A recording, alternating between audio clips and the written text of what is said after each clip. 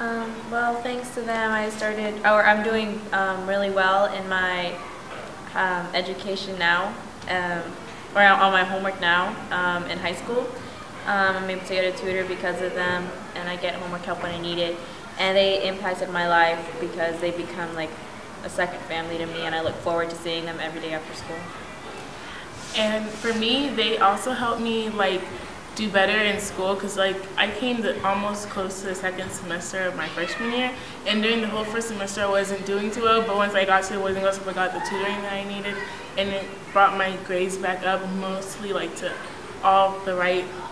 grades that I needed to be. And then um, um, emotionally, the Boys and Girls Club was like my second family as well because like everybody's just so close to each other and we're all like one.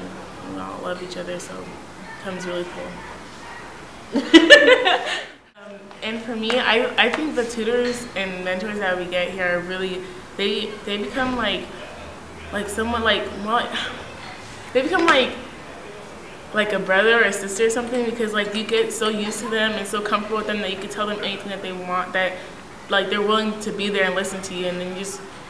the bonds form more than just your tutor, just your mentor, like just the person that you could say, hi, can you help me with my pre-cal? It's just like they become more like your, you could talk to me, you feel comfortable and it's not awkward. College goals, I'd say find a major that I think will suit me um, as a person and that can help me in my future. And then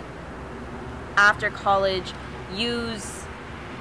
what I know from experience from college and what I grew up with and sort of come back to East Palo Alto and help those that I feel could really use some of my guidance and could use a little bit of a push to be in a place like Boys and Girls Club where they help and where they want to help.